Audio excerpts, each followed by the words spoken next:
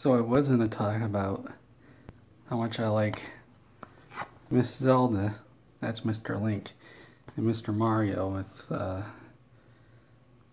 unknown Cappy there. I don't know what if you, I don't know if Cappy's a Mr. or Mrs. But then I saw this. And so Mr. Skeletal's been hanging around. And I walked in on him looking for spooky skeletons. So Mr. Skeletal, what's your favorite kind of spooky skeleton?